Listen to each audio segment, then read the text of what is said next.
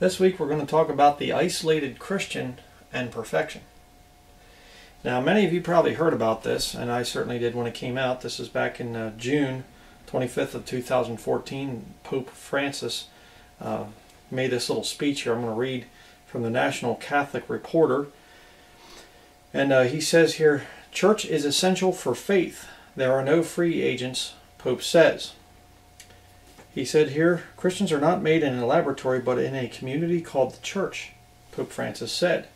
At his weekly general audience Wednesday, Pope Francis continued his series of audience talks about the church, telling an estimated 33,000 people that there is no such thing as a do it yourself Christian or free agents when it comes to faith. Every Christian, he said, can trace his or her faith back to parents, grandparents, teachers, or friends. I always remember the nun who taught me catechism I know she's in heaven because she was a holy woman, he said. Uh, kind of interesting there, you know, I know she's in heaven because she was a holy woman. Um, I know people that are saved and in heaven right now because they put their faith in Jesus Christ, not because they were holy in and of themselves. Pope has kind of a weird idea of what salvation is.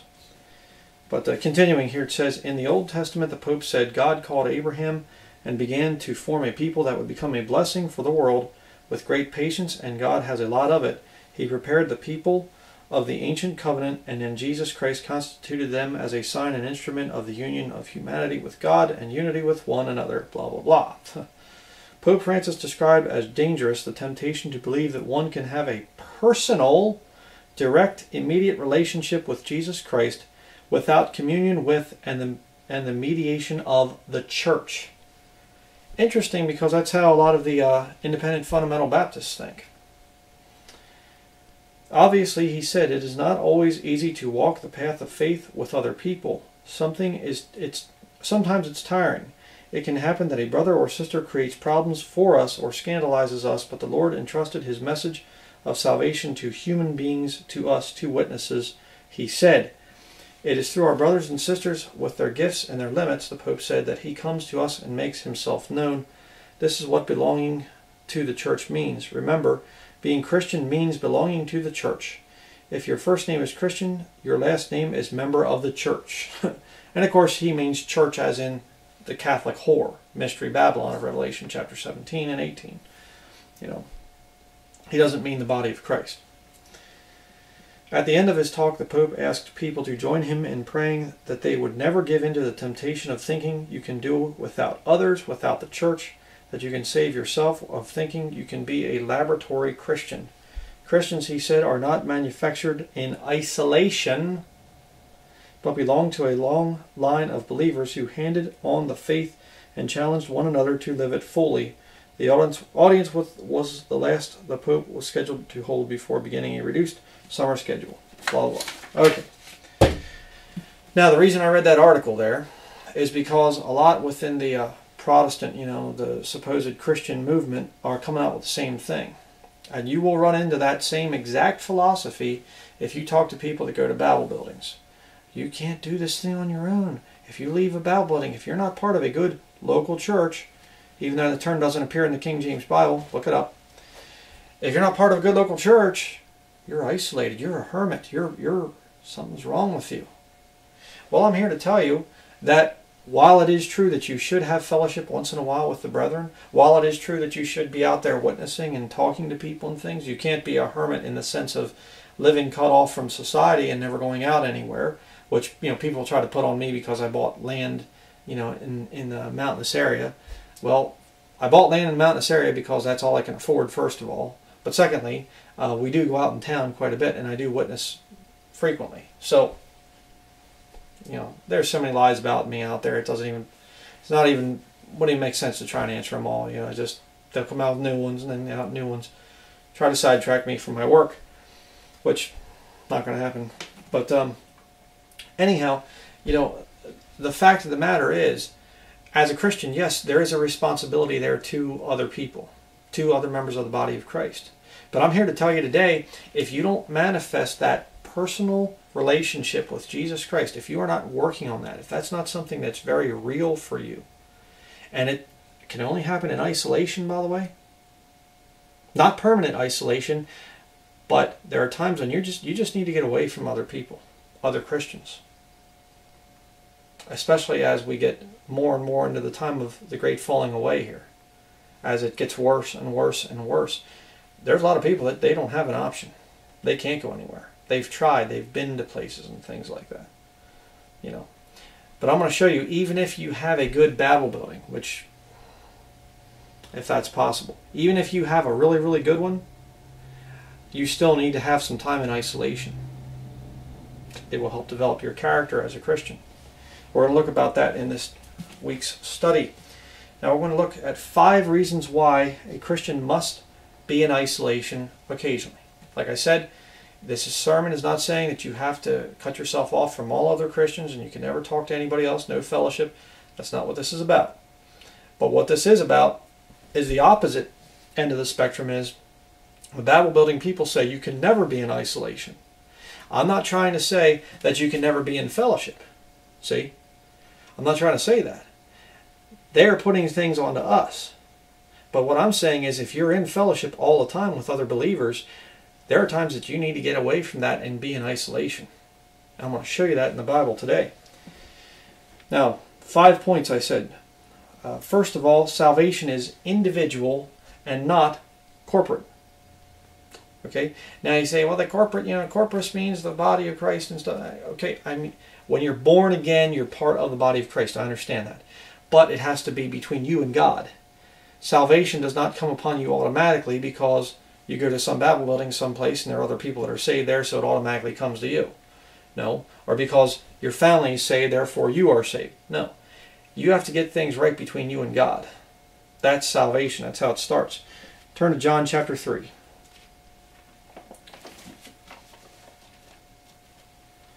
John chapter 3. We're going to look at this here today.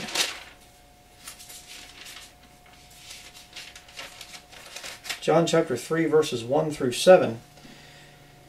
There was a man of the Pharisees named Nicodemus, a ruler of the Jews. The same came to Jesus by night and said unto him, Rabbi, we know that thou art a teacher come from God, for no man can do these miracles that thou doest, except God be with him. Jesus answered and said unto him, Verily, verily, I say unto thee, except a man be born again, he cannot see the kingdom of God. Nicodemus saith unto him, how can a man be born when he is old? Can he enter the second time into his mother's womb and be born? Jesus answered, Verily, verily, I say unto thee, except a man be born of water and of the Spirit, he cannot enter into the kingdom of God. That which is born of the flesh is flesh, and that which is born of the Spirit is spirit. Marvel not that I said unto thee, Ye must be born again. You say, why did you point there at the screen when you said thee? Very important distinction in your King James Bible here. Your archaic King James Bible gets it right here. You see, whenever you see thee, thou, thine, thy, it is always a reference to a single person. It cannot be a reference to more than one. All right. When you see ye, it can be one and others as well.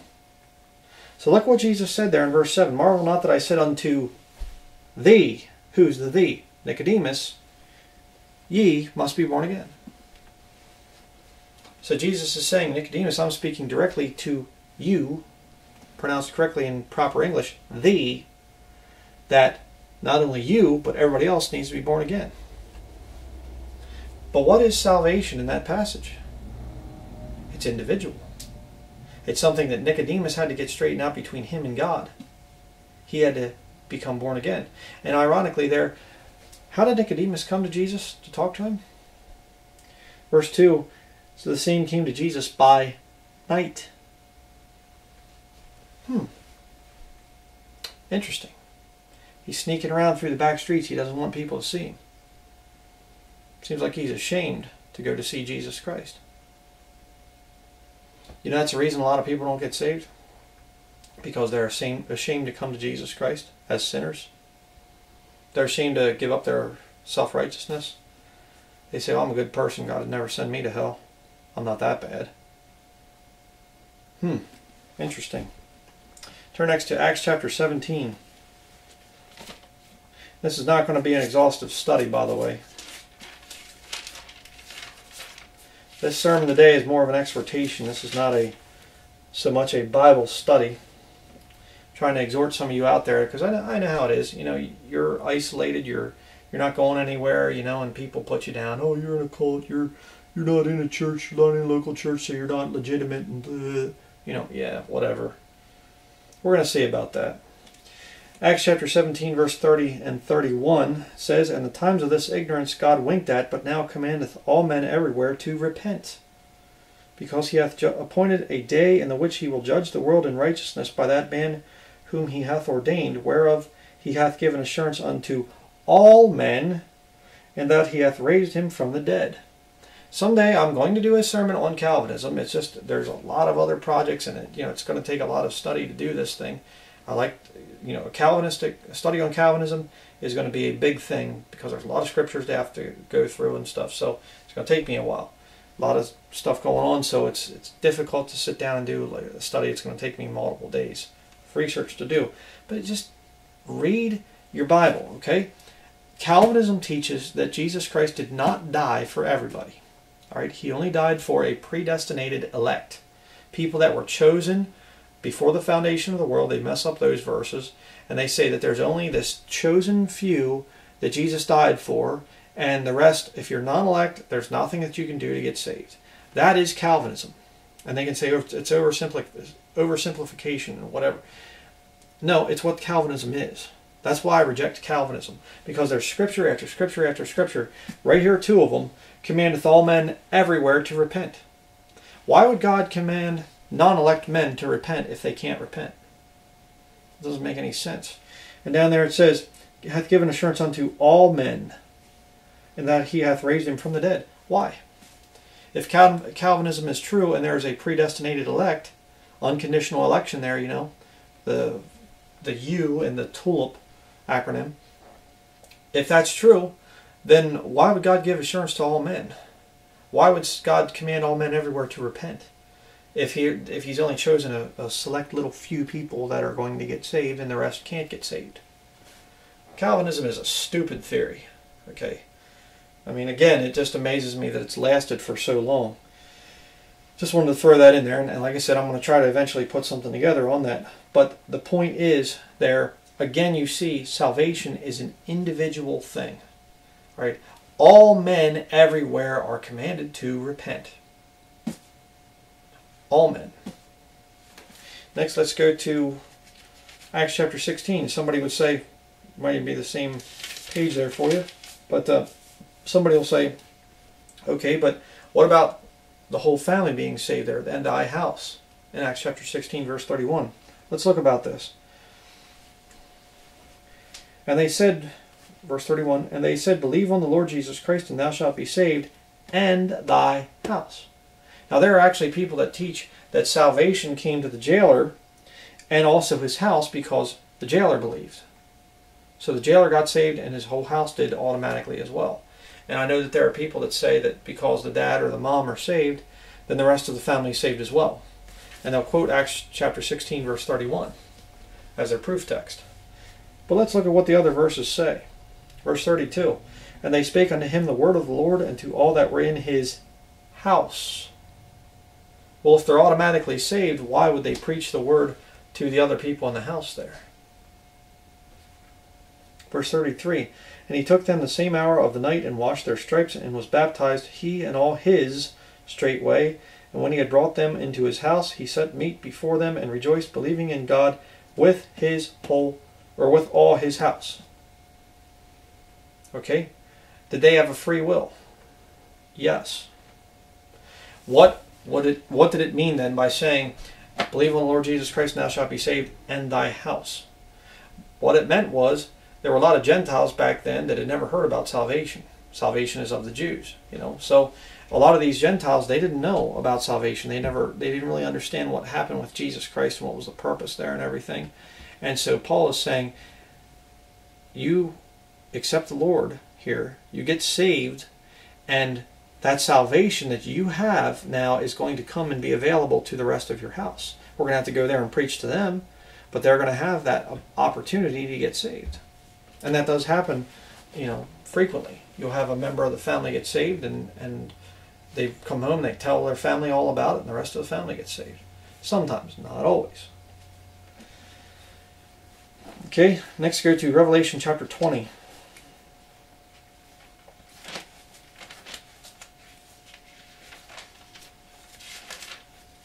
Revelation chapter 20, verses 11 through 15. It says here, And I saw a great white throne, and him that sat on it, from whose face the earth and the heaven fled away, and there was found no place for them.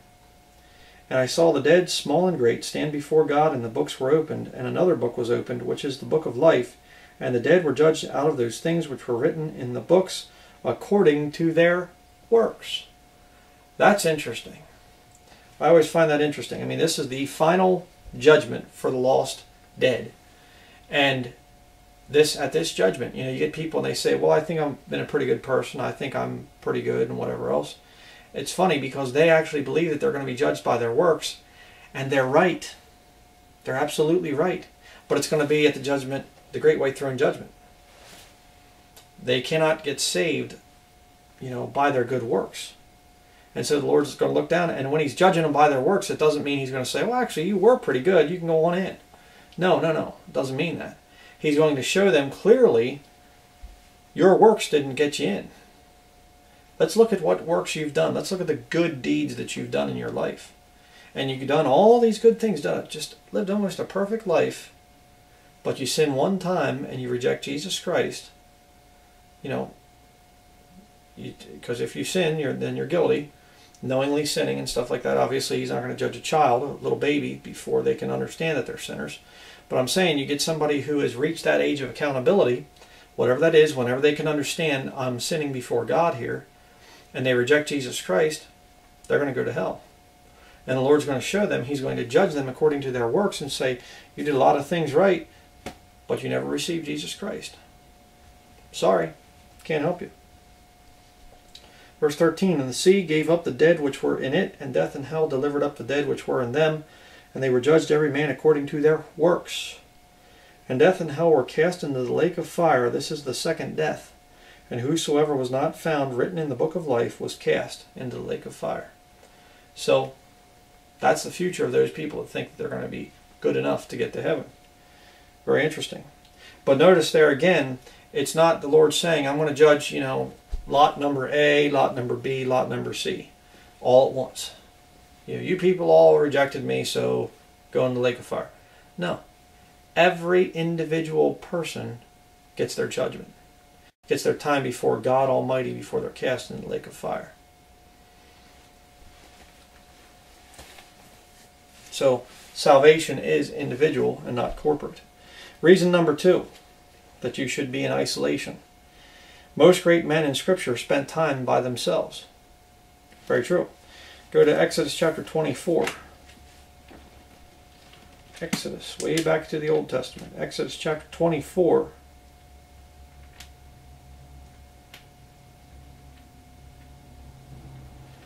I'll be reading about Mo, uh, yeah, Moses here. Let's say Noah, but no, Moses.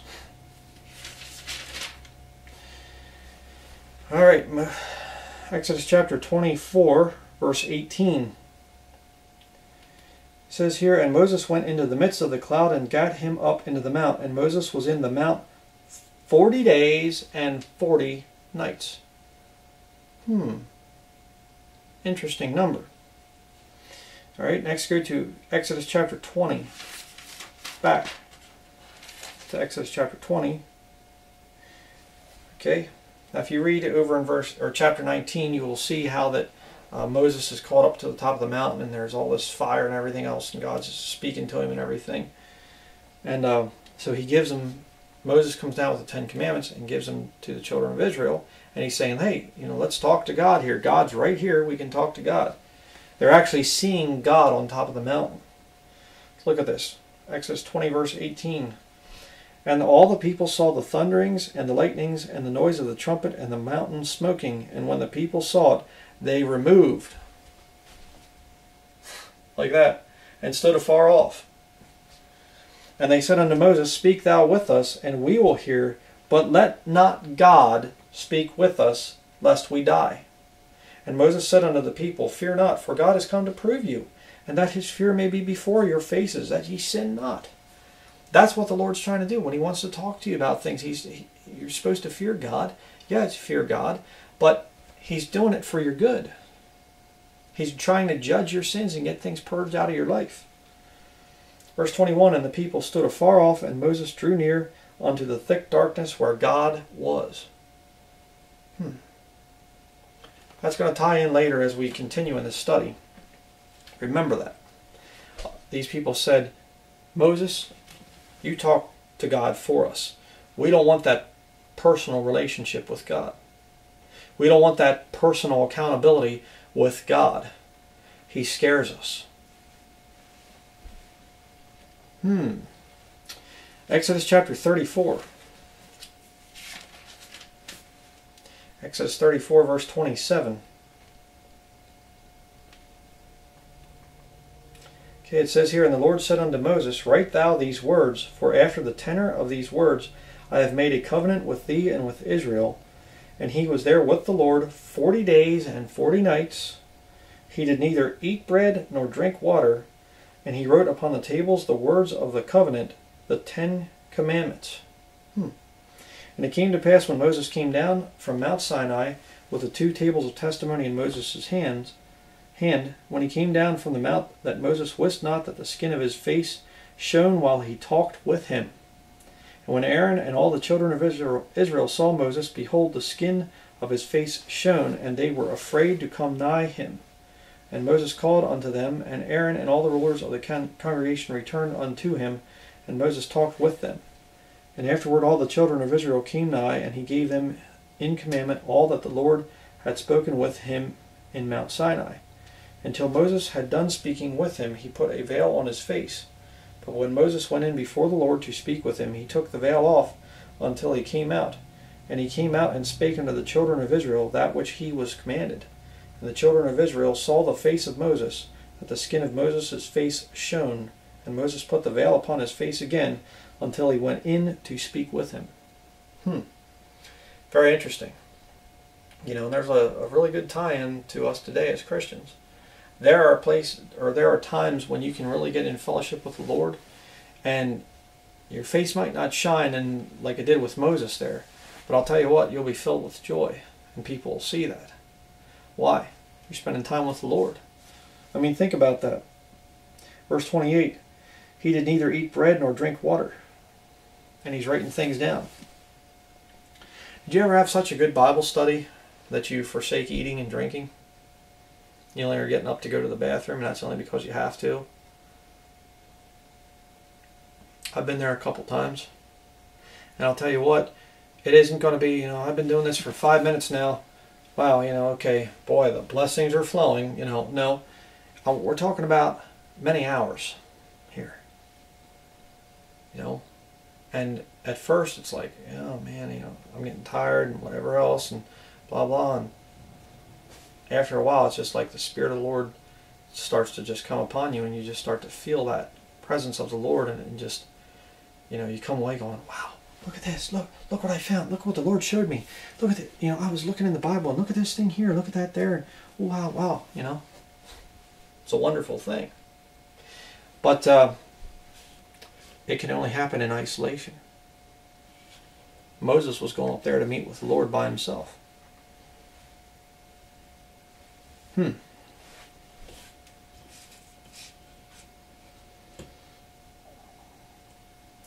Next, go to 1 Kings chapter 19.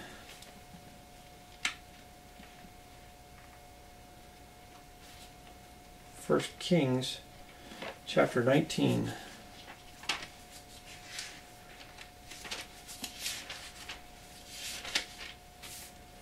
First Kings 19 verses 4 through 8 says here, But he himself went a day's journey into the wilderness, and came and sat down under a juniper tree. And he requested for himself that he might die, and said, It is enough. Now, O Lord, take away my life, for I am not better than my fathers. Who's he talking about? Elijah. Right after he kills all these priests of Baal and everything, and Jezebel says, I'm coming after you, I'm going to get you, and I'm going to kill you like you did to my priests over there. And he runs off into the wilderness takes off, runs away from this woman, this wicked woman. You know, and back then, I guess if you're moving along pretty briskly, you know, going a day's journey into the wilderness, you'd probably get pretty far away. Let's look at verse 5. And as he lay and slept under a juniper tree, behold, then an angel touched him and said unto him, Arise and eat. And he looked, and behold, there was a cake baken on the coals, and a cruse of water at his head. And he did eat and drink, and laid him down again. And the angel of the Lord came again the second time, and touched him, and said, Arise and eat, because the journey is too great for thee. And he arose and did eat and drink, and went in the strength of that meat forty days and forty nights unto Horeb, the mount of God. Hmm. Interesting. I think that's very interesting. So we see Elijah. First, you had Moses fasting, so the ten, you know, while he's getting the Ten Commandments revealed to him from God for forty days and forty nights, just him and God. Next, you have Elijah here, and he's there. He runs off into the wilderness and everything, and he just passes out basically, and he's just almost a nervous wreck. And the Lord comes down and says, "Here, eat this, drink that." And in the strength of that food there, he goes for 40 days and 40 nights. Hmm. Very interesting. Was anybody else in the desert for 40 days? If you know your Bible, I'm, you sh- I'm sure you know where I'm going. Matthew chapter 4. Matthew chapter 4.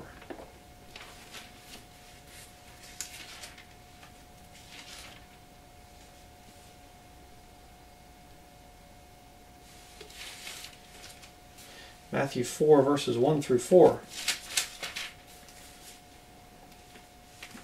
Says here, Then was Jesus led up of the Spirit into the wilderness to be tempted of the devil, and when he had fasted forty days and forty nights, he was afterward and hungered.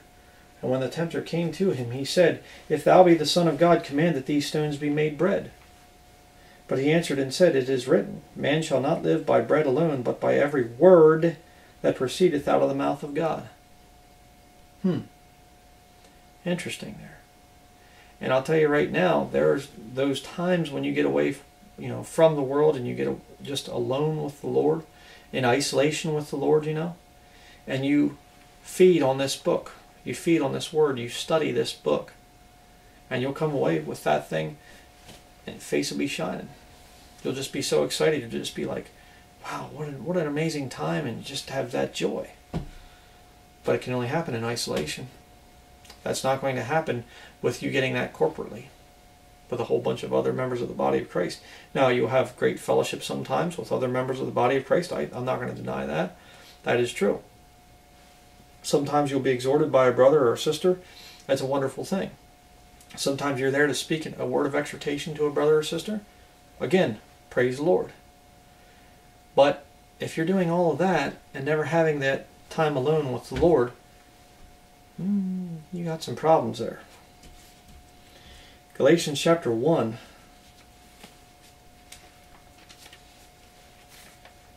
Of course, I cover these verses quite a bit. Might sound somewhat redundant to go back to it, but we're going to hit it again because it just comes up in the study. Galatians chapter 1, verse 15 through 24 says, But when it pleased God, who separated me from my mother's womb, and called me by his grace, to reveal his Son in me, that I might preach him among the heathen, immediately I conferred not with flesh and blood. Neither went I up to Jerusalem to them which were apostles before me, but I went into Arabia, and returned again unto Damascus. Then after three years I went up to Jerusalem to see Peter, and abode with him fifteen days. But other, other of the apostles saw I none, save James the Lord's brother. Now the things which I write unto you, behold, before God I lie not. Afterwards I came into the regions of Syria and Cilicia, and was unknown by the face unto the churches of Judea which were in Christ. But they had heard only that he which persecuted us in times past now preacheth the faith which once he destroyed, and they glorified God in me. Hmm. Doesn't sound like Paul had much fellowship with the brethren, right? On as far as a consistent weekly basis. There were times he did. He's writing about it right there. Times that he went and met with other Christians and things. But a lot of times he wasn't meeting with anybody. And don't give me this stuff of, well, you know, that's because Paul was a especially called apostle and we're not called into the same thing and blah, blah. Well, I don't say that you have to follow Paul's life exactly to the letter, but it ought to resemble it somewhat. Especially as things get worse. The apostasy falls, you know, gets worse and worse and worse. The falling away happens more and more. There should be some separation. Revelation chapter 1, verse 9. Look at another example. Revelation chapter 1, verse 9. It says here, I, John, who also am your brother and companion in tribulation and in the kingdom and patience of Jesus Christ, was in the isle that is called Patmos for the word of God and for the testimony of Jesus Christ. Now the story goes there that they had this island and basically was used like a prison and they just go dump people off on the island and just survive whatever. And uh, you know, kind of interesting because I heard the one time that Australia was actually that for British colonies. You know, they'd take their soul or their prisoners and just drop them off there on the continent of Australia. But the point is, um, why didn't the Lord reveal the book of Revelation to a whole bunch of Christians that were meeting together so they could verify one another's story? Why did he wait till John was all by himself out on an island, abandoned out there? And he gives them the Revelation, the book of Revelation? Hmm. Interesting. Very interesting. And you know, you say, well, uh, this is just, you know, weird, kooky Christian beliefs. You know, this this small sect of Christianity that's these lone wolf Christians that can't get along with anybody else, and and just church jumpers, and what else do we get called? You know, all these other names and things. You know, you're just you're just uh, set in your ways, and you're stubborn. You you won't, uh, you know, talk with other brethren, and blah blah, all this other stuff. You know, we'll get that put on us. But I'm going to read a couple secular quotes for you that talk about very much what I'm saying. And I don't, I'm not recommending these. I'm not recommending philosophers, okay? So don't say, beware lest any man spoil you through philosophy.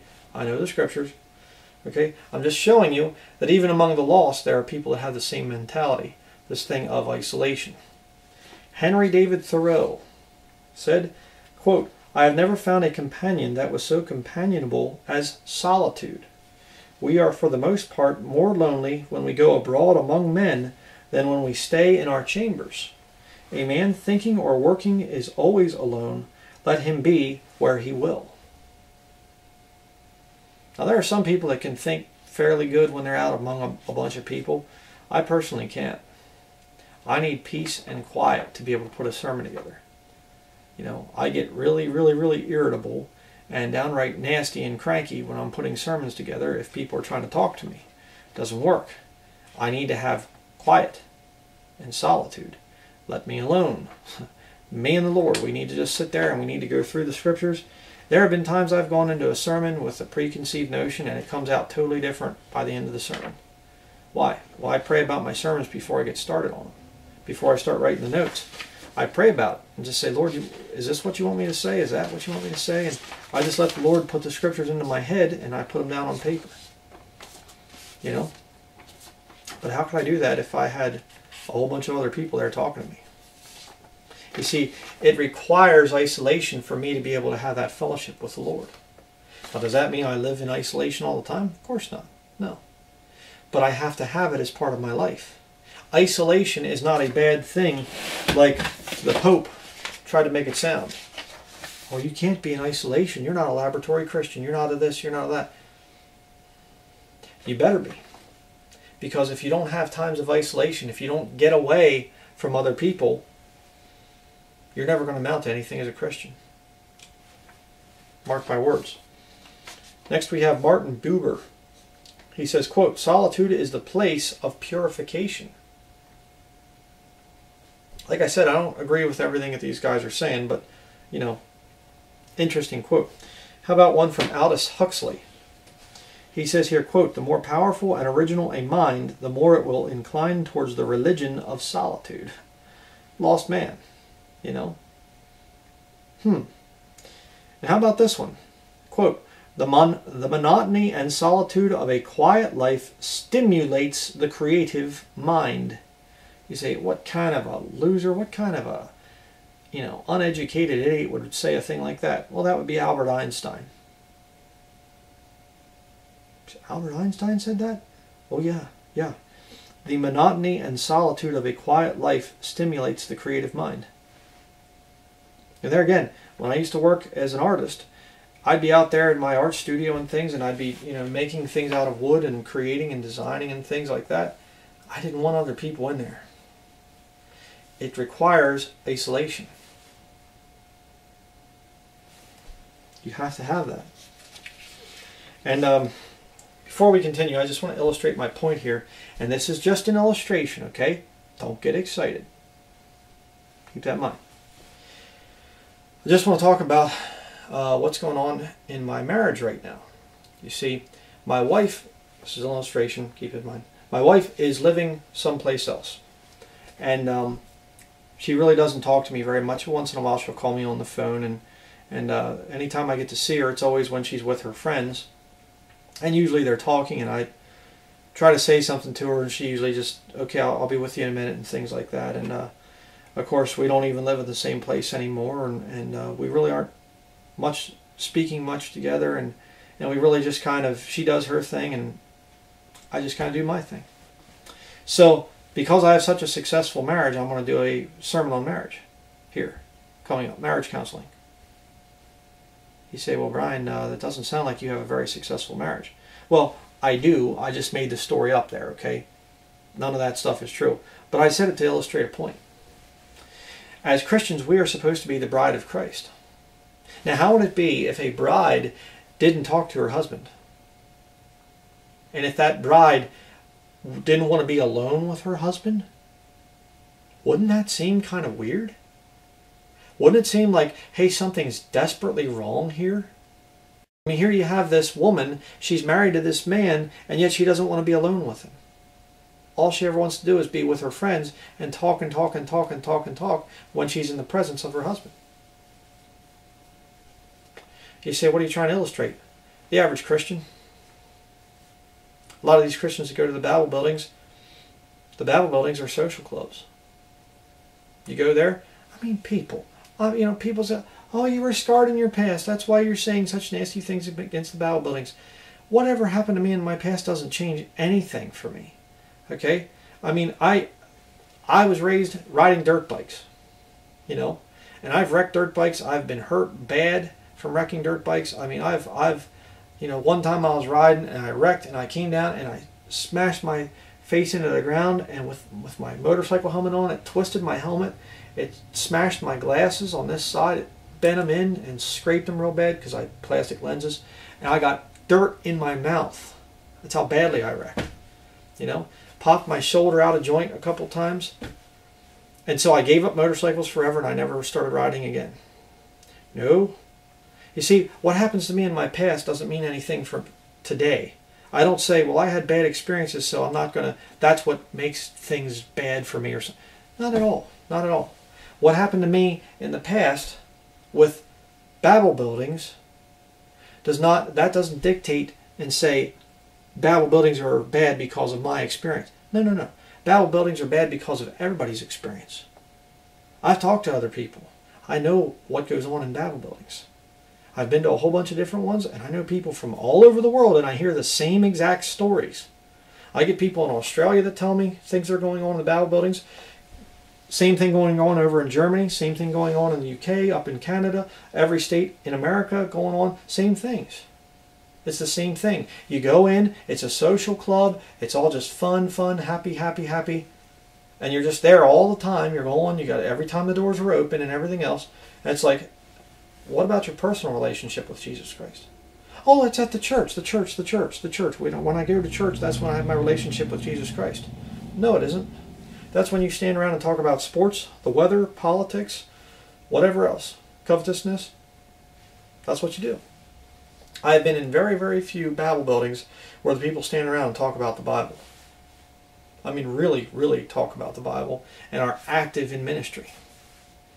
I've been to very few that are like that. And ironically, the ones that are like that that I've been to, God usually breaks up the group. So they're going out and getting things done and not just coming together to socialize. I've seen that too. But uh, if you want a good relationship with your heavenly bridegroom, you know, you better spend some time. Learn to spend some time alone with him. Just you and him. You say, um, but then wouldn't it be kind of like what was going on back there in Exodus? Where Moses is going and he's spending time with God and the people are going, you, you just deal with him. You know, we don't want to deal with him. You see, if you're going to deal with God, God might be tempted to come over to your house and say, what kind of books you have there? Hey, um, what are those DVDs over there? Can I look at those? Can I tell you which ones that you should get rid of? How about your CD collection?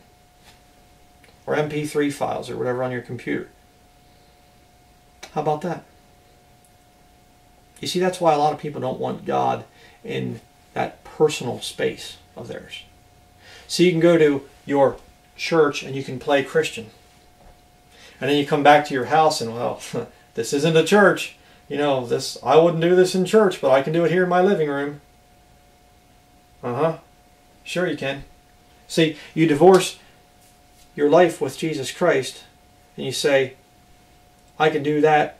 My my life, my relationship with Jesus is over there.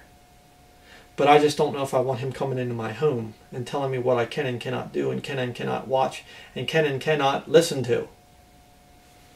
You see?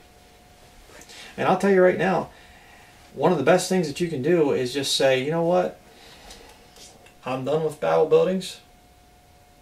I'm walking away. And I'm just going to spend time reading my Bible. Just me and the Lord. Say, okay, Lord, let's go through this. You know, I'm just going to tell you a little story about my wife. Back before, after she got saved, before we got married, she dedicated herself to listening to the King James Bible. Audio, online. She listened to the whole King James Bible, Genesis to Revelation. First time she'd ever even been through the Bible. And just sitting there listening to it and listening to it and listening to it. And a lot of times she was just having water. For hours and hours and hours, sometimes all day. Fasting praying, listening to a couple books of the Bible just back to back, following along in her Bible, just sitting there reading and reading and reading and reading. And the Lord did some really amazing things through my wife. If you heard her testimony, she had some really amazing experiences. She hasn't even talked about all of them. You know, she wants to just give the Lord glory and just, okay, whatever. But I've seen some amazing things happen through my wife. And why? because she has a strong personal relationship with Jesus Christ. That's very important. You say, well, Brian, shouldn't you be the one who controls that relationship and tell her what she can and cannot do? Well, to a certain extent, I'm supposed to be the spiritual head over my wife, but uh, she's got to have that relationship with Jesus Christ herself. I can't step in there and tell her things that are contrary to the Word of God. She needs to know what the Bible says and she needs to have that relationship between her and the Lord. And you know, she went to the Babel building thing as well. I, I don't remember if she has that in her testimony or not, but you know, she went to Baptist Babel buildings, and it was like the whole, you know, come on, be part of the club and everything else, and and uh, we don't really have so much time to study the Bible right now, but you know, let's just let's get you in here, and we're going to have a Christmas cantata coming up here and all this other stuff. And she was just like, nope, I was raised in the whole organized religion thing. Don't need any more of that. I just want to have a personal relationship with Jesus Christ. I've done it. There were times I got sick and tired of the Babel buildings I was going to, and I'm just like, you know what? I'm just going to stay at home. I'm just going to listen to sermons. I'm just going to study the Bible on my own. Just say, okay, Lord, I want to know you. I want to know what your word says. Please teach me and people, you know, in the, in the Babel building movement, if you saw my study on David Cloud, you know, he's like, oh, you by yourself? Oh, that's not a proper church. Oh, you know. You mean I can't have a personal relationship with the Lord? The Holy Spirit can't come in and teach me things?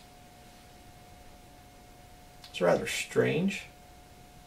Rather, uh, sounds like the Pope. When you have these Baptist pastors and other pastors too. I'm not I always pick on the Baptists, you know, because you know they're one of the ones that use the King James Bible. Most others have abandoned the King James Bible years and years ago.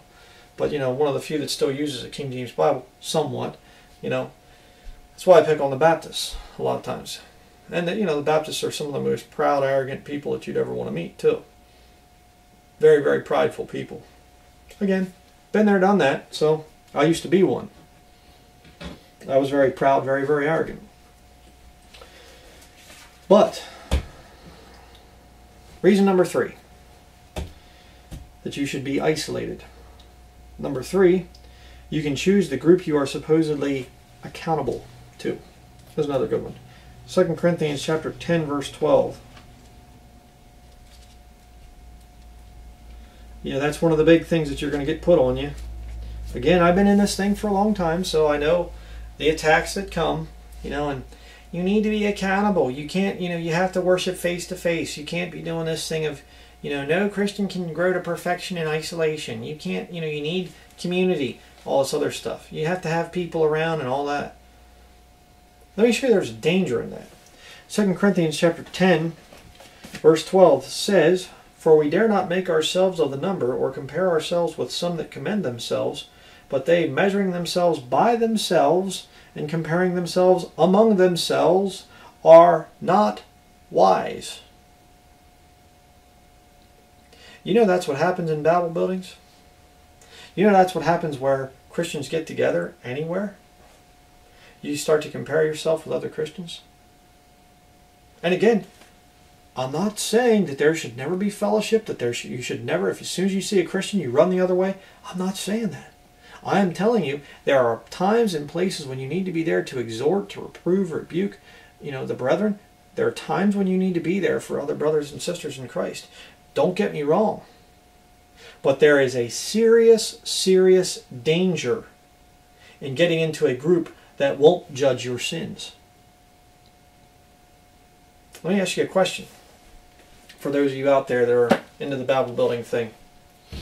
If the average person went to a Babel building where the truth was being preached, but everybody ignored them, would they continue to go to the Babel building? No, most people wouldn't. You know why? Because the people weren't friendly enough. See, the truth is irrelevant. The truth doesn't matter. It's are the people friendly? That's a friendly church. And you'll see all these Baptist churches, you know, the church with a heart. We're the friendly church. We're, we love you and your family all this stuff. And what happens is you go in there and you get some guy that stands up and starts to condemn sin, starts to slam to watching television and starts to slam whatever else, and you get people offended. Are they really interested in truth or are they interested in comparing themselves among themselves? You know they are. You see, the nature of our flesh, and brethren, let me just say this with all grace and, and charity and everything, it can happen in house churches too. You can get around that right group of people that doesn't shake you up at all. That doesn't, you know, keep you isolated, you know, it's just your friends and people and stuff like that. It doesn't challenge you. It's good sometimes just to get alone. To become isolated. Why? So you can grow to perfection. We'll see about that too as we continue. 1 Corinthians chapter 5. Of course, if you know the Bible, you'll know this story. What was happening there in the church of Corinth. Talk about uh, people comparing themselves among themselves. How about this one? 1 Corinthians chapter 5, verse 1. It is reported commonly that there is fornication among you, and such fornication as is not so much as named among the Gentiles, that one should have his father's wife. With gross immorality. And what were they doing about it? Verse 2 And ye are puffed up, and have not rather mourned, that he that hath done this deed might be taken away from you among you. For I verily, as absent in body, but present in spirit, have judged already, as though I were present, concerning him that hath so done this deed. In the name of our Lord Jesus Christ, when ye are gathered together, and my spirit with the power of our Lord Jesus Christ, to deliver such an one unto Satan for the destruction of the flesh, that the spirit may be saved in the day of the Lord Jesus. Your glorying is not good. Know ye not that a little leaven leaveneth the whole lump? Purge out therefore the old leaven, that ye may be a new lump, as ye are unleavened. For even Christ our Passover is sacrificed, sacrificed for us. Question How much leaven is in the average Babel building? Well, the Bible says right there, a little leaven leavens the whole lump. Is there a little leaven in there? It's kind of funny. Another thing I've heard many times is they, you know, people in Babel buildings, they'll make fun of house churches and they say, well, you don't even have 30 people in there. You know, we, I remember the one time, uh, the house church I used to be part of, uh, Brother Jesse Gillespie, he used to go to a Babel building, Baptist Babel building, Baptist Babel building out in Utah. And the one time he called the pastor there, and he and he was talking to him, and and uh, he said, you know, about we're in a house church here, and and the pastor was like, well, you know, I don't agree with that. That's not a le- legitimate New Testament church, you know. And uh, he said, how many people do you have going there? And Jesse said, well, right now we have seven people. And he was like, oh, that's ridiculous. Seven people, you call that a church? and Jesse said to him, well, let me ask you a question if you were to boil down the people that are truly faithful there in your uh, church, if you were to truly boil that down, the people that are coming there and taking care of things and getting the work done and witnessing, he said, How many people would you have? And he said, The pastor got kind of quiet and he said, Probably about six or seven people. you know? Yeah. What's going on? There's a lot of leaven in that place. There's a lot of leaven in a lot of those Babel buildings. All of them actually, if you want to get right down to it, there's leaven in all of them, every single one of them. There's a lot of socialism that goes on there. You know, a lot of talking. You know, a lot of people comparing themselves among themselves. And by the way, why would you compare yourself with other people if you are working on that relationship, that relationship in isolation between you and the Lord? See, you realize when you are in that isolated place, when you are living a life of solitude as far as you are biblically separate from other people, you realize that you're accountable only, only to God. And I had a, a guy say to me the one time, Who are you accountable to? You know, they're on the internet and stuff like that. You're on the internet, you're not accountable to anybody. And I said, Okay, first of all, I could choose if you said I'm supposed to be accountable accountable to people locally, I could choose the group that I'm accountable to. You see? I could go someplace where nobody's going to condemn my sins. So that really wouldn't be real true accountability then, you know. Secondly, the Bible says I'm accountable to God. I'm going to answer for my own life someday. See? And I am accountable to you people out there too, by the way, my viewers. A lot of you have corrected me in comments, and I change. A lot of you have you know, said things against me and stuff and said, you know, you need to teach this or teach that. I don't agree with you and I'm not going to change. Okay? But it comes right down to it. I'm accountable to God. And if this ministry gets out of line and if this ministry starts to mess around and whatever else, God can shut it down. Just the way it is. But let's keep reading here. 1 Corinthians chapter 5 verse 8. Therefore let us keep the feast not with old leaven, neither with the leaven of malice and wickedness, but with the unleavened bread of sincerity and truth. I write unto you, I wrote unto you in an epistle not to company with fornicators, yet not, not altogether with the fornicators of this world, or with the covetous or extortioners, or with idolaters, for then must ye needs go out of the world.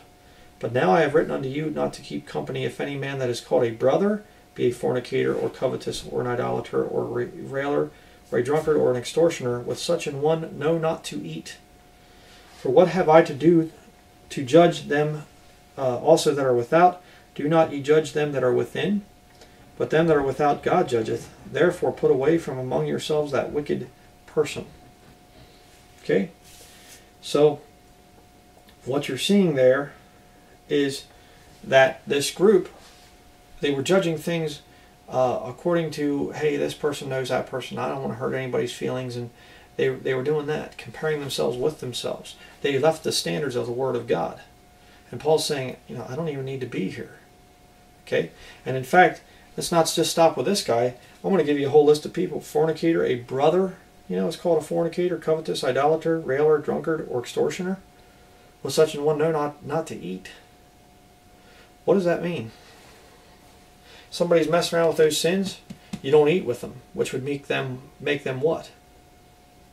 Isolated. You know that's a good thing for somebody like that? Say, until you get that sin fixed up, don't come back here and fellowship with us. You go and you get that personal relationship with Jesus Christ worked out. You and Him. Next, let's go to Matthew chapter 5.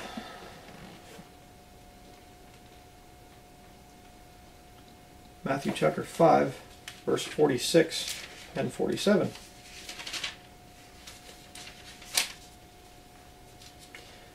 Right, Matthew chapter 5, verse 46. For if ye love them which love you, what reward have ye? Do not even the publicans the same? And if ye salute your brethren only, what do ye more than others? Do not even the publicans so? Again, another description of a lot of these Babel buildings. If you're in the in crowd, boy, you're just you're there and everybody's a good old faithful so and so. But boy, you get out of that in crowd. I mean, I've had people that just loved me, at least they claim to, and they're and they're just wonderful and happy and everything else. I leave the Babel building, it's just like I don't I never knew him. you know. It's like okay, you know. Whatever. You see what's going on. Well, their buildings there, their their fellowships are not based upon truth. They're not based in sincerity and truth. They're based in feelings. We're friends. We're in the little clique. And you know, again, the Babel buildings are so extremely cliquey. I've never been to one that wasn't. You, there's the in crowd, and then there's the people that don't show up, and they're not as faithful. You know, they're not in the in crowd. Then you have those ones that have that used to go and used to be faithful and they've left, and those you have to shun, and gossip about those too. You know, that's important. But uh, let's continue. Third John. Third John. Right back before you're starting to get into the book of Revelation. Third John, then Jude, then Revelation. Third John chapter 1, verses 9 and 10. I wrote unto the church, but Diotrephes, who loveth to have the preeminence among them, receiveth us not. Wherefore, if I come, I will remember his deeds which he doeth, prating against us with malicious words, and not content therewith. Neither doth he himself receive the brethren, and forbiddeth them that would, and casteth them out of the church. Uh, this guy had kind of an ego trip he wouldn't let other people come around him. His little group that he had there, it was a special little clique, you know, a special little secret society almost of people that would come together there to fellowship and to worship. And it was just like, oh, here comes one of the apostles. I'm sorry, no, you can't come into our little group here. See, that's what Jesus Christ was condemning back there in the book of Matthew. He's saying, okay, you have friends that are, you know, in your little group and things. How are you any different than the lost world? The Pharisees and the publicans. How are you any different than them? And you know, if you have a Babel building and you're just like very clicky and just kind of whatever, how are you any different than the lost world? The Masons or you know the Masonic Lodge or something like that. How are you any different? Hmm. Number four. So again, you know, let me just reiterate this before we go on to the next point this thing of, well, you can't be in isolation, you have to have somebody that you're accountable to. There are a lot of problems with that. That system can be tweaked and all kinds of other stuff. So I just wanted to say that. Number four, the fourth reason why you should have time of isolation. Because Jesus gave us an example of isolation to follow. We already read about him in the wilderness there being tempted of the devil, but now let's go to Matthew chapter 6.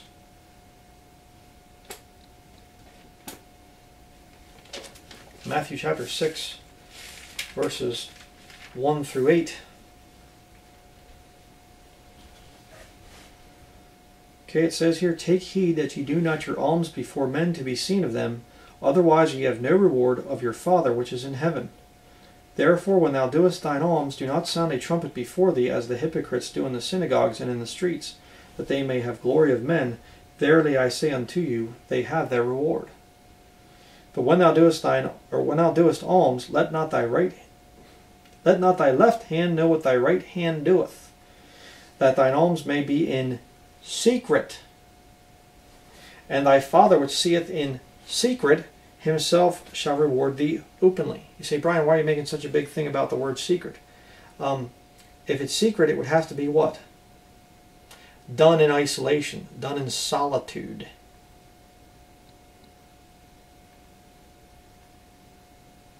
Hmm. Verse 5 And when thou prayest, thou shalt not be as the hypocrites are, for they, they love to pray standing in the synagogues and in the corners of the streets, that they may be seen of men. Verily I say unto you, they have their reward. But thou, when thou prayest, enter into thy closet, and when thou hast shut thy door, pray to thy Father which is in secret. And thy Father which seeth in secret shall reward thee openly.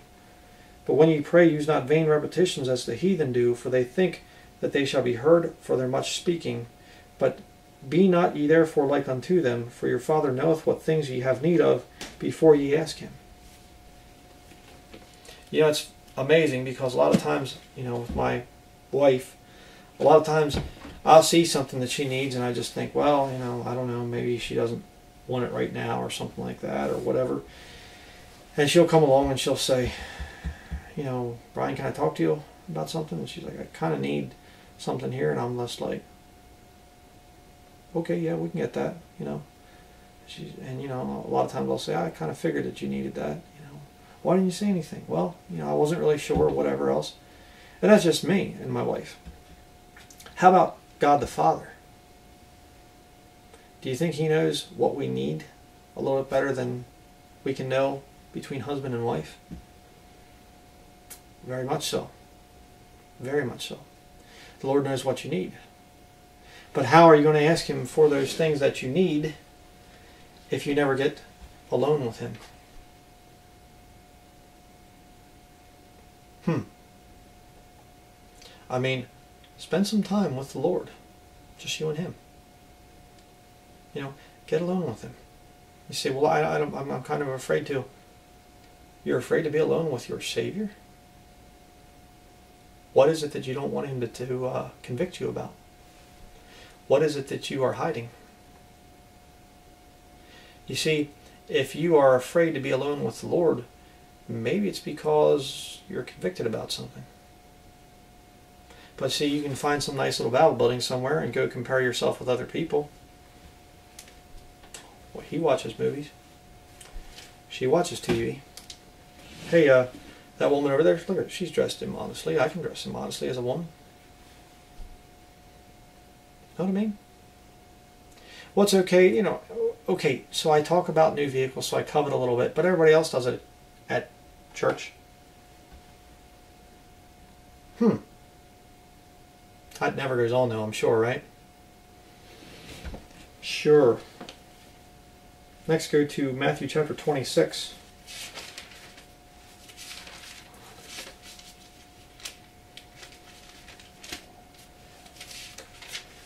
Matthew 26, verse 31. Then saith Jesus unto them, All ye shall be offended because of me this night, for it is written, I will smite the shepherd, and the sheep of the flock shall be scattered abroad. Did it happen? Yeah. They came for Jesus in the garden, and when they took him, his disciples ran away. And Jesus Christ died alone on that cross. Even though Peter said, I'll go with you to death. No, he didn't. Then he went on to deny Jesus Christ three times. Hmm. Turn next to 1 Corinthians chapter 11. You say, well, Brian, that was Jesus, and that, that sure would have been hard, wouldn't it? Yeah, it sure would have. But uh, there's a sense in which you're going to have to go through that too. If you're really truly saved. 1 Corinthians chapter 11, verse 1. What does Paul say here? He says, Be followers of me, even as I also am of Christ. Paul is following Christ's example, and you're told to follow Paul, which means you will be following Christ. you want to be Christ like? say, oh, that'd be so neat to be Christ-like, to be called to say that I'm Christ-like. That'd be so wonderful to be Christ-like. Okay, are you ready to be alone? Hmm. 2 Timothy chapter 4.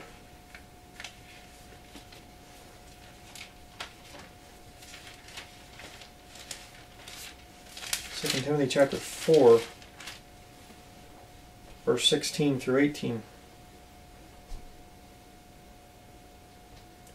says here, At my first answer no man stood with me, but all men forsook me. I pray God that it may not be laid to their charge. Notwithstanding, this is the good part.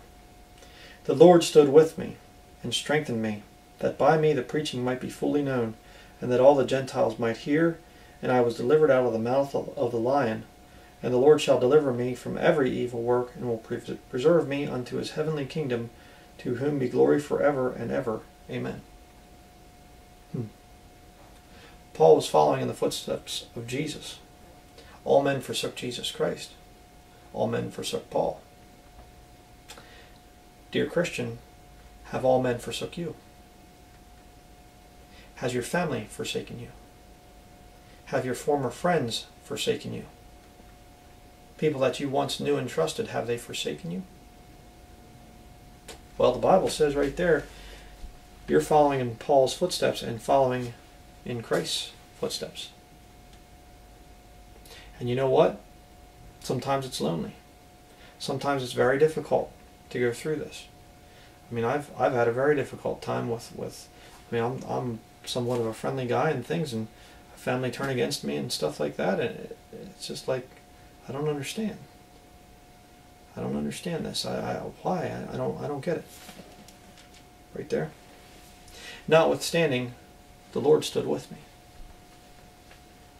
I don't know why sometimes I think I'm just a, a low down good for nothing I don't know why the Lord even bothered to save me. Some of the sins I did in my past and things, and you know, forgetting those things which are behind, I know that. But the fact of the matter is, the Lord stands with me, even when other people don't. Are you ready to go through the same thing?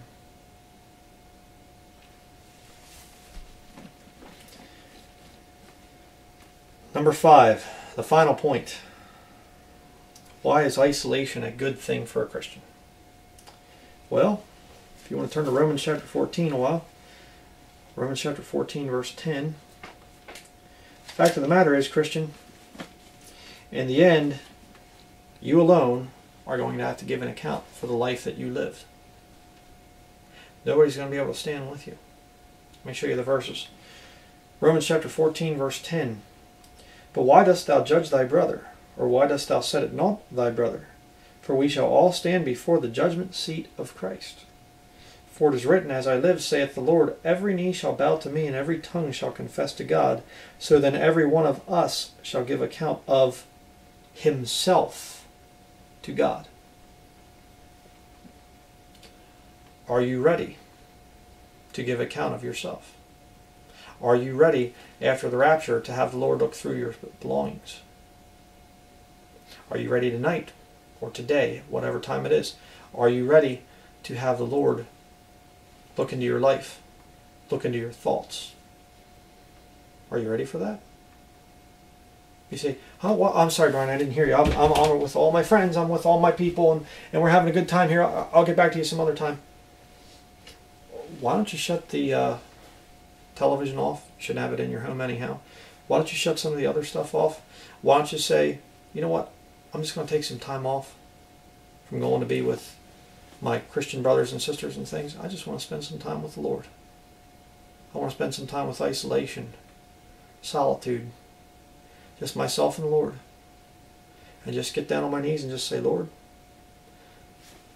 what do you want me to give up? What do you want me to do with my life? And let the Lord come in and do some house cleaning. I've done a tremendous amount of that in the last couple of years. And I don't know if I'm done yet.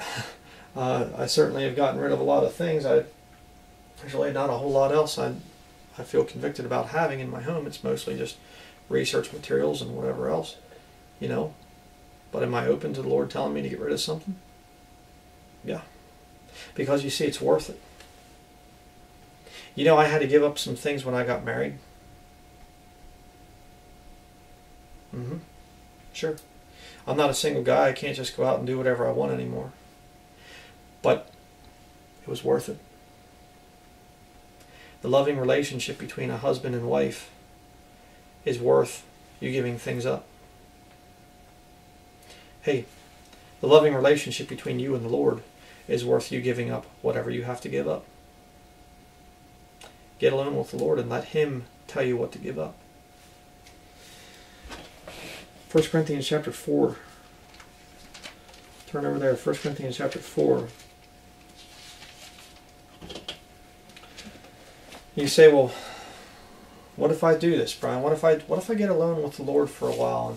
And I know many of you already have done that. Many of you have already expressed to me in comments and things and emails and whatever else that, that you're basically away from anybody and everybody's forsaken you and, and whatever else. And you say, you know, people just can't relate to me. Well, brother, sister, I can tell you that you're right where you need to be with the Lord. Let me show you. 1 Corinthians chapter 4 verse 10. We are fools for Christ's sake. You ever been called a fool? But ye are wise in Christ. Speaking to this these carnal people, these carnal professing Christians in the Corinthian church there. We are weak, but ye are strong.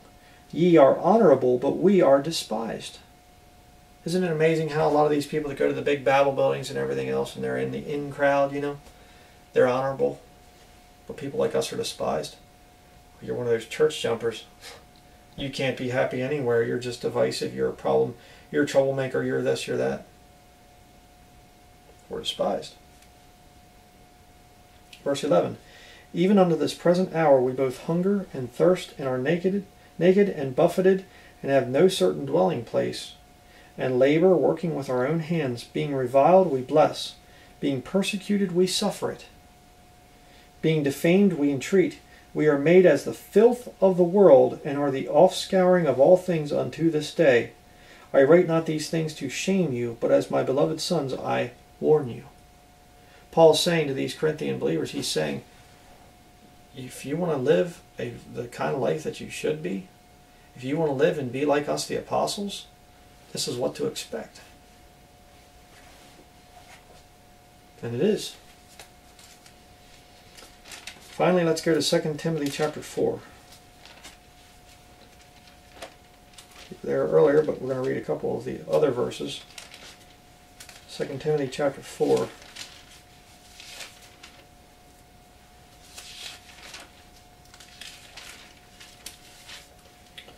Second Timothy chapter 4 verse 6 through 11. For I am now ready to be offered, and the time of my departure is at hand. I have fought a good fight. I have finished my course. I have kept the faith. Can you say that? You know, for years and years and years, I couldn't. I could not honestly say that I was ready to go see the Lord. I could not honestly say that I had a personal relationship. I was saved, yeah, you know, in, in that sense, I had a personal relationship with Jesus Christ. I was a Christian, I was a new creature in Christ Jesus, but my personal relationship wasn't very good. I really didn't talk to the Lord very much. I didn't have much fellowship with the Lord. I really didn't understand His Word that much. And it took a long time. It took me years, you know, to get to the point where you know, and, and it's not, I, I haven't arrived yet either, by the way. I haven't, I'm not having a perfect relationship with Jesus Christ. There are times I don't do very good being with the Lord. But I thank the Lord for those times when I can get away and I can just myself, myself in the Lord, myself in Him. Verse 8 Henceforth there is laid up for me a crown of righteousness, which the Lord the righteous judge shall give me at that day, and not to me only, but unto all them also that love his appearing. Do thy diligence to come shortly unto me. For Demas hath forsaken me, having loved this present world, and is departed unto Thessalonica, Crescens to Galatia, Titus unto Dalmatia.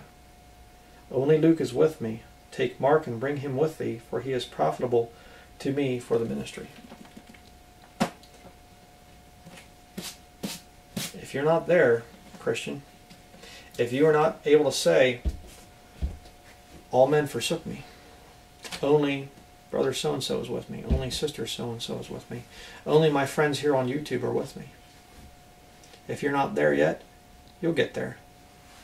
You'll get to the point where you realize this. The more truth, the more you stand for this book, the more you stand for the Word of God and preach the Word of God and witness to your lost relatives and, and even the carnal Christians and things, the more you do that, the more you will be isolated.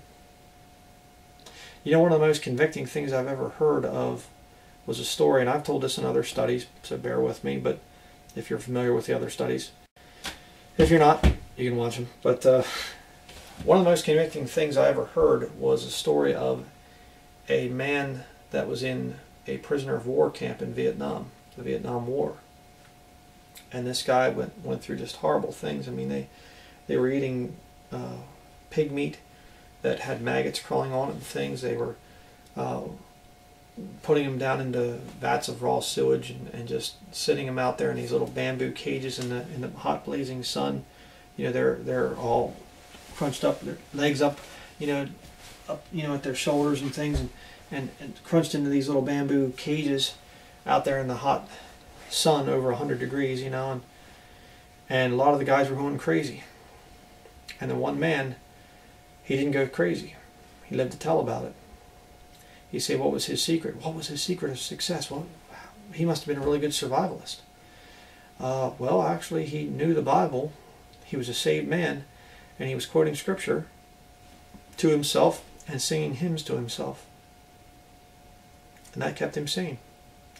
And you know, the conviction comes because I say to myself many times, do I know enough scripture? Do I know enough of the old hymns to keep myself sane like that? Could I survive in a isolated situation like that? And I'll tell you what, that inspired me. Inspired me to really study the book, really study the Word of God, really listen to the right kind of music. You know, you say, well, then you have all Christian music. I have some secular music, some of the old stuff, some old uh, symphony orchestra type of stuff, and some old bluegrass music. It sings about country living and and whatever else. I stay away from the, you know, my wife cheated with that wife and you know, or this whatever else, all the junk. You know, I stay away from that stuff. But the point is, could I get more sanctified with my walk with the Lord? Yeah, I could. You know, and I'm open to the Lord correcting me and telling me, okay, this needs to go, that needs to go, whatever. But I can only know when He's speaking to me when I'm willing to listen and when I get away with the Lord. Um, should you practice isolation as a Christian? Well, that would be a definite yes. You need to develop that personal relationship with Jesus Christ. That way, no matter what happens, you aren't going to care. You aren't going to say, well, you know, the persecution has come to Christian churches here in America. What am I going to do? I guess I'm just going to have to go with the world. You see, if you have a real, true relationship with the Lord that has been developed through solitude, through isolation, you can always go back to that. You can always fall back to that. And they say, the government's going to come down and, and shut down the church locally here. You know, I'm going with their terminology here. You know, you say, oh well, you know, I'll just go back to myself and the Lord. See? Yes, you do need to have some experience with isolation, even in your prayers. You know, like we read there in the book of Matthew, chapter 6. Get away with the Lord sometime. Right? And if people are putting you down and you're feeling kind of lonely and things like that, you're going through some of those struggles, be encouraged. Okay? You are following in the footsteps of Paul, who followed in the footsteps of the Lord Jesus Christ. You're doing right. A right relationship with the Lord is going to lead to solitude, to isolation.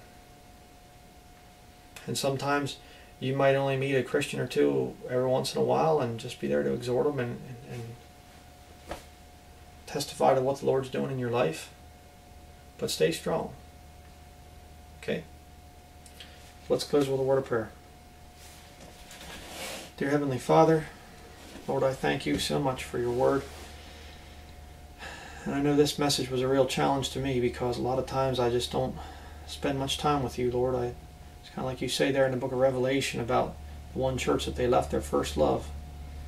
I know, Lord, sometimes the cares of the world and the deceitfulness of riches spring up and choke the word, and, and I get to be a little bit unfruitful. And there are many times when I have opportunities to witness and I don't take those opportunities. And uh, Lord, I just pray that you would help me to be a better Christian, and I help. I pray that you'd help all those out there that are listening to this that they too would be convicted and get away with you and just develop that personal relationship and just spend some time, Lord, just them and you. And uh, I just pray, Lord, for your discernment for all the brothers and sisters out there that watch this channel. I thank you for all of them, Lord, and I thank you for the fact that they convict me many times in their comments and encourage me as well. And I just um, pray that you would give each of us opportunities to serve you and, and, that you would speak to each of us and help us to have uh, open hearts and open minds to what you want us to, to do with our lives. And I pray it all in the name of our Lord and Savior Jesus Christ. Amen.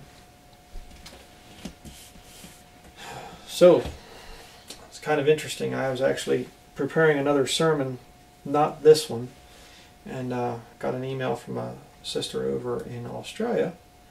And I won't say the name or anything. I never do that. I protect people's, you know, privacy on that. But um, just talked about how that going from Baptist church to Baptist church, and and then finally just saying, you know what, house church. There's no local church in the area. There's nothing there, and and the Bible doesn't even talk about that stuff. So we're just going to serve the Lord. We're just going to worship the Lord, and how the the blessing that comes from that. And I can assure you that there will be times that you will go through that you will be lonely.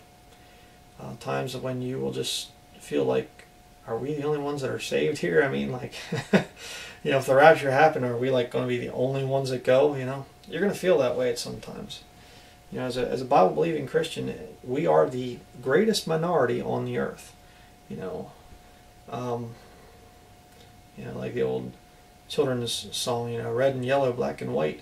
Instead of they are precious in his sight, it'd be they are very few in his sight, you know. There's not much of us. There are very few. Um, you're not going to have a whole lot of fellowship down here. And that's kind of the point. You see, our time of fellowship is going to be eternity. I know this sister said about, you know, really thankful for the ministry here and everything. And, and I've had a lot of brothers and sisters write me and they say, I just, I'd love to be able to meet you someday and, and just thank you for what you've meant in my life. And that, that's a great encouragement to me. I always appreciate hearing that. And I, I would love to meet a lot of you out there as well. Um, some of you, no, not so much so, but, uh, I'm just messing around. But, uh, you know, when we get to heaven, what a day of rejoicing that will be. I mean, it is going to be amazing. That's when the fellowship is going to be right. We're going to be in heaven. We're going to be glorified saints. We're not going to have bad fellowship up there. We're not going to be talking about worldly things. So, you know, even if you have a, a good group that you're part of and, and really uh, meeting together with a lot of people and things like that. I, I'm not against that. You know, I, am I'm, I'm trying to encourage brethren. That that's a, that's a good thing to meet with other Christians, but uh, don't make it to the point where you don't ever have any time alone with the Lord. There's some times that you need to just get alone with the Lord. I remember reading one time about uh, Oliver Cromwell, the uh, Lord Protector over there in England, right after King Charles I King James, King Charles, then the parliamentary forces rose up. There was a civil war over there in uh, England, and Cromwell was put in, you know, and, and everything. And uh, he was a Calvinist, so Puritan, but um, he had some issues. But I, I do respect the man for a, a lot of what he did and a lot of what he stood for. But they said that many times before he would make a decision, he would disappear and just be out in the wilderness for a couple days, just out there by himself you know, we've we miss a lot of that stuff now. We don't really do much of that. We're so busy. You know, we get on YouTube and we, we just look at videos after videos after videos, and you know, I've been guilty of that myself. You know, there are times I'll be up till really late at night, you know, watching videos and reading comments and trying to reply to people and all this stuff like that. I get caught up in that, you know. And how much time do I really put aside for the Lord? That's that's what really convicted me doing this study. I just thought to myself, boy, you know, a lot of times I'm just not spending time with the Lord like I used to. You know, and something we all need to get back to. Just wanted to challenge you with that today. So I pray that you take it to heart and uh, get alone with the Lord this week. So that's it. Thank you for watching.